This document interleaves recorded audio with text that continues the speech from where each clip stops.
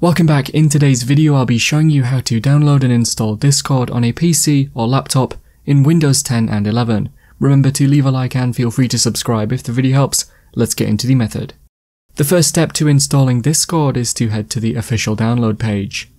The link will be in the description, but all it is is discord.com slash download. Thankfully the installation is very simple and once you're on this page, click on where it says download for Windows.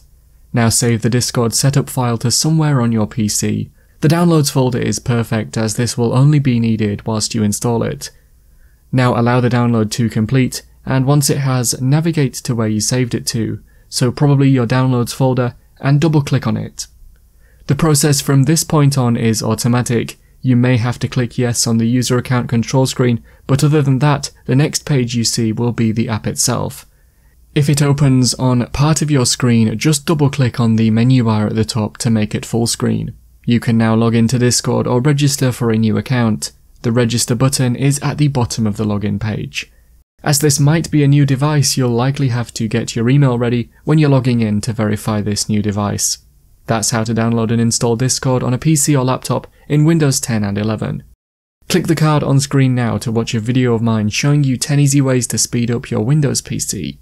If you have any questions, then let me know in the comments below and if you did find today's video helpful, remember to leave a like and feel free to subscribe for more tips in the future.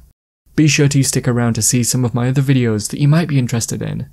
Thanks so much for watching and I will see you in another video.